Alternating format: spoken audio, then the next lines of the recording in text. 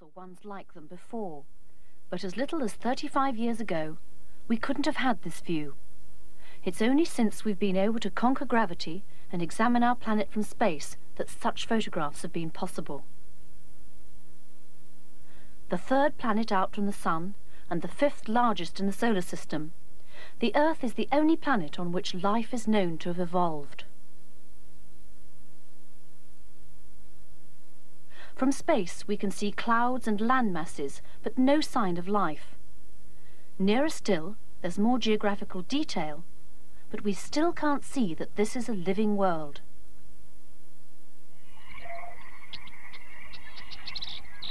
Yet, when we get to the surface, the planet is teeming with life. And it comes in all shapes and sizes, from elephants to birds to ants, and smaller still.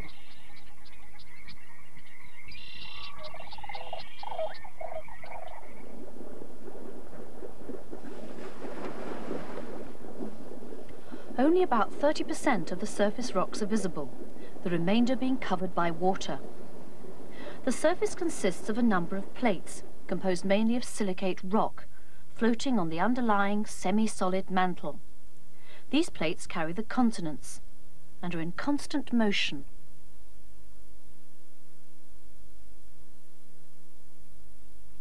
Where adjacent plates interact, earthquakes occur and volcanoes may be formed. Rivers get pushed off course by earth movements. Lava flows up from beneath the surface of the planet. Despite the fact that the Earth is around 4,600 million years old, it's still an active planet. The presence of an atmosphere around the Earth means that very few meteorites from outer space ever reach the surface. They burn up in the upper atmosphere, but a few do get through from time to time, like the one that came down in China a few years ago. A small one, but it made quite a hole. Nothing like the huge crater made by a giant meteorite in Arizona thousands of years ago. But these craters are rare. Few meteorites get through in the first place, and the erosion of winds and water, freezing and thawing, have obliterated most traces. All these factors have a smoothing effect on the terrain.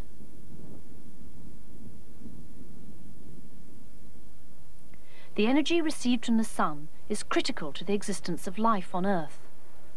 The distance of the Earth from the Sun, about 150 million kilometres, was vital in providing the conditions for life. But just how critical a factor is the distance from the Sun? Perhaps we should examine the Earth's planetary neighbours. Venus, the planet nearest in size to Earth, is only about 110 million kilometres from the Sun. At this distance, water vapour, produced as the planet first cooled, couldn't condense to form oceans. As a result, carbon dioxide in the atmosphere couldn't be removed by dissolving in water and becoming trapped in rocks. So a permanent greenhouse effect was created.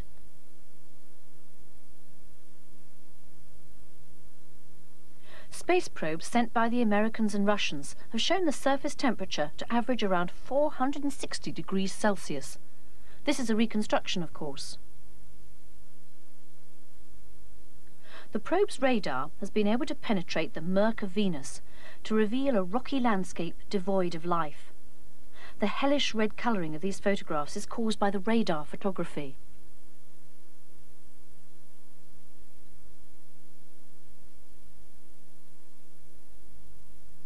If Venus is too hot, what about the Earth's other neighbour, Mars, the red planet? Mars lies about 230 million kilometres from the Sun and has a diameter just over half that of Earth. At this distance from the Sun, heat isn't a problem, and the surface temperature ranges from a comfortable 26 degrees Celsius maximum at the equator to a chilly minus 80 degrees Celsius at the poles.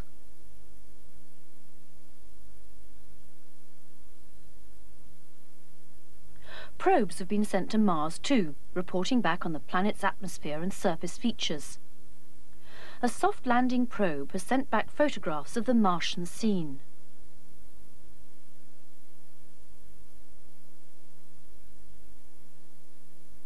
No liquid water exists on the planet because the planet's lower gravity means that its atmospheric pressure is too low. As with Venus, the atmosphere consists mainly of carbon dioxide, and predictably, the probes have detected no signs of life on Mars.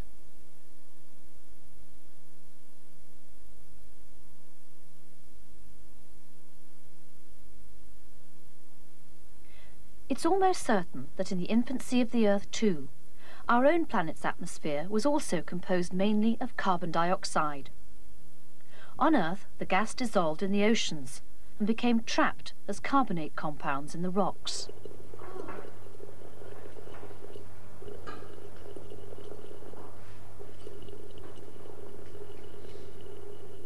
You can do an experiment in school to show how water with minerals dissolved in it, lime water in this case, can trap the carbon dioxide you breathe out.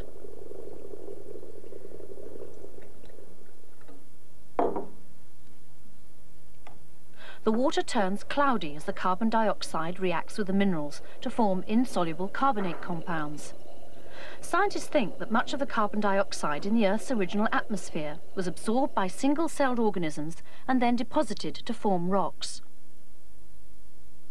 experiments have been carried out on a primitive atmosphere containing the gases thought to be present on Earth around 4,000 million years ago. Passing an electric spark through the mixture of gases to simulate lightning produces compounds similar to those on which all living things are based. Life, in the form of the first cells, is believed to have started in the Precambrian period, well over 3,000 million years ago.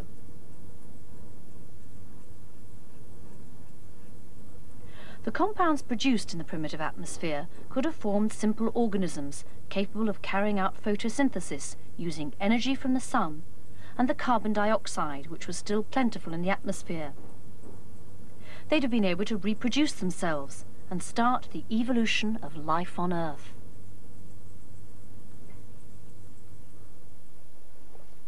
These first living organisms produced oxygen while the carbon dioxide was being reduced. The oxygen could have poisoned other organisms. But this was the time when the first great division of living things occurred, a division that continues to the present day, between the plants that produced oxygen and the animals, like fish, that could breathe oxygen.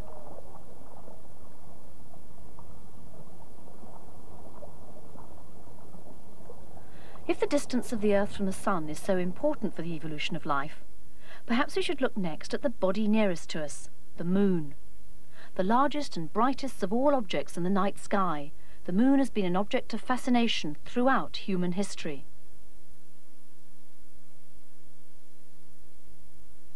The bright part of its surface reflects light mainly from the sun, whilst a tiny part of the light is reflected from the earth. This is sometimes noticeable when there's a crescent moon. However little we see of the moon lit by the sun, it's always the same part of the moon's surface. This is because the moon's period of rotation is exactly the same as its period of revolution around the Earth. The same side of the moon always faces us.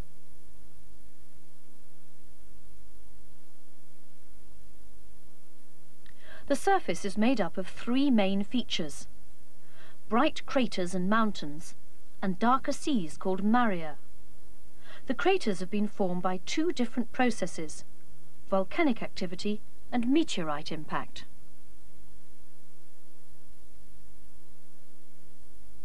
The Moon appears to have been formed about the same time as the Earth, around 4,600 million years ago. It's not known whether it was a separate body captured by the Earth's gravitational field, or if it was formed when another planetary body crashed into the Earth. Early in its history, the Moon underwent a heavy bombardment of meteorites, some of which seem to have been very large. This is a reconstruction of one of those impacts.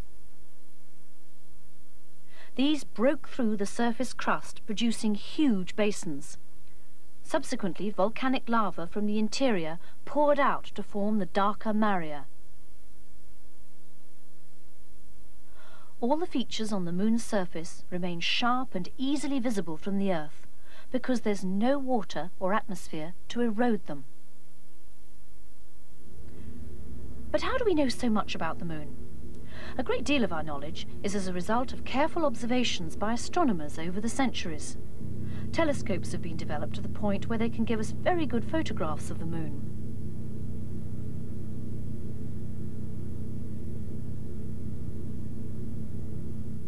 But once spaceflight became a reality, the moon became the target of a number of scientific unmanned spacecraft.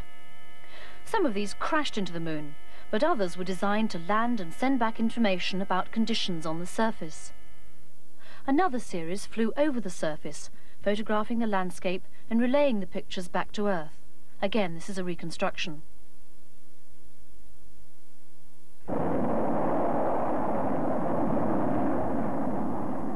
The first pictures of the far side of the moon, the side we'd never seen before, came from the Soviet spacecraft Luna 3 in 1959, radioed back to Earth. Ranger 6 became the first successful lunar lander in 1964, and at least 16 other craft reached the moon's surface in the next five years. We were learning a great deal more about the moon in those years of unmanned flights. For example, robot arms on some of the moonlanders sampled the lunar surface. In 1969, however, scientists had a much more important chance to gather information and data from the moon's surface.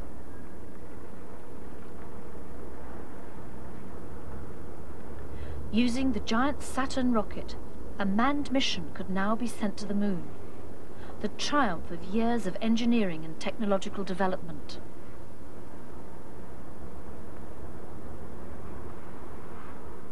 People had been dreaming about a voyage to the moon for centuries. Only the technology of the 20th century could achieve it.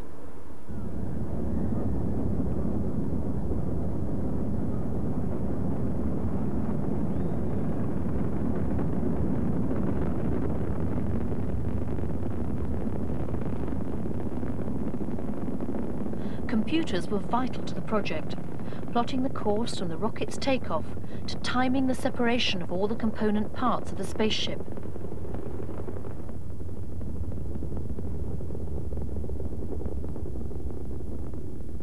Only the small forward part of the whole massive construction would reach the moon.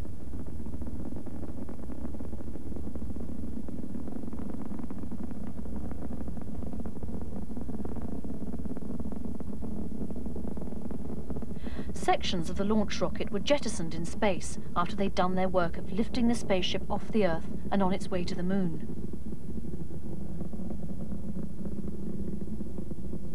America's Apollo 11 mission landed Neil Armstrong and Buzz Aldrin on the moon's surface on the 20th of July, 1969. Coming up nine minutes. We're now in the approach phase, everything looking good. Altitude 4,200. Houston, you're a go for landing, over. 40 feet down, two and a half. Picking up some dust. 30 feet, two and a half down. Straight shadow. Four forward. Four forward, drifting to the right a little. 20, down a half. 30 seconds. Forward, just. Good.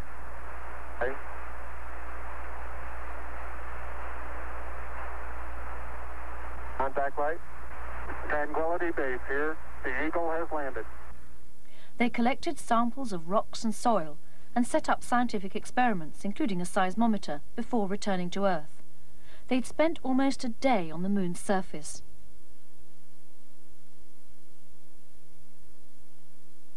Armstrong and Aldrin returned safely to Earth, and the success of Apollo 11 was followed four months later with a second mission, Apollo 12 was to land on a different part of the moon's surface and explore more widely. More samples of moon rock were collected and brought back to Earth for analysis.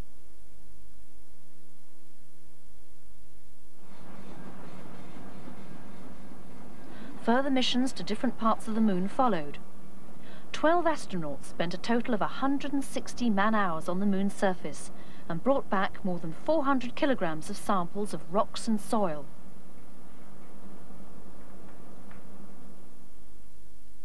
So far, we've concentrated our attention on Earth's nearest neighbours.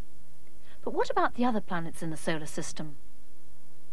Mercury, the other inner planet, is also one of the smallest. never more than 70 million kilometres from the Sun and extremely hot. It appears to be very similar to our Moon. Beyond the inner family of the four rocky planets are four much larger planets made up largely of gas. Of these, the giant planets Jupiter and Saturn are the most impressive. Jupiter is the largest planet in the solar system. It has a volume more than 1,300 times that of the Earth and is 300 times the mass of our home planet. Like the Sun, Jupiter is made up almost entirely of hydrogen and helium, together with some ammonia. Its surface also shows a feature called the Great Red Spot, a vast storm which seems to have lasted for more than 300 years. At the time the solar system was formed, Jupiter was almost large enough to have formed a small star, and has its own family of at least 16 moons. Io has active volcanoes. And there's Europa. And Ganymede, the largest of Jupiter's moons, appears to be a mixture of ice and rock. Callisto is probably the oldest of the moons.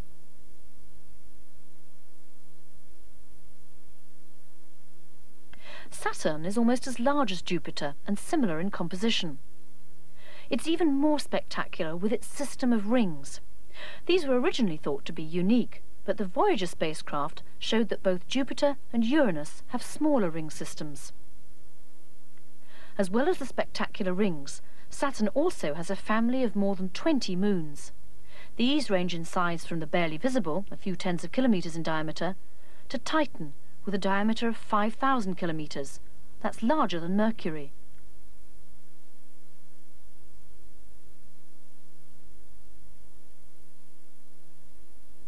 In a NASA reconstruction, we can journey on from Saturn to Uranus. Uranus is thought to be similar in composition to Jupiter and Saturn, but much further from the Sun. As well as its rings, it also has a large number of moons. The last two planets of the solar system make a strange pair. Neptune has a rather higher density than Uranus, and only two moons. The larger of these, Triton, is twice the size of our own moon.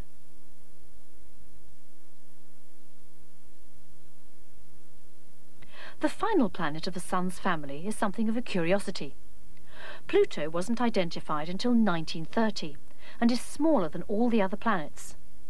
Unlike the other outer planets, it seems to be rocky and moves in an elliptical, tilted orbit which brings it back inside the orbit of Neptune from time to time. It's been suggested that it may be a former moon of Neptune or a captured asteroid rather than a true planet.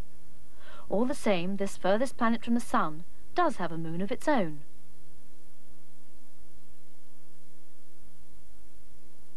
Although we've landed on our own moon, and sent many unmanned spacecraft to different parts of the solar system as far as distant Pluto and beyond.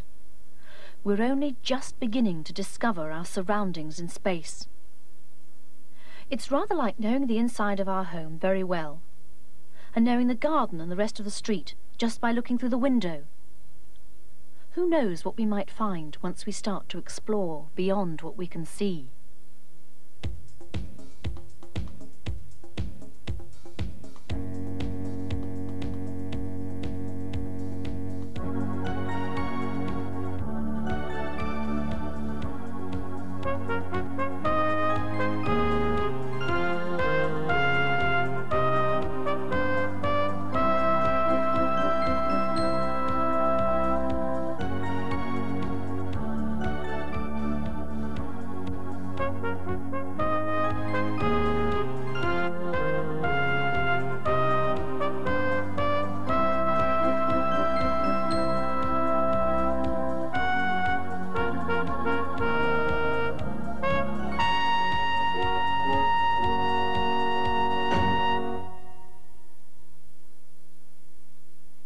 Teacher's Guide is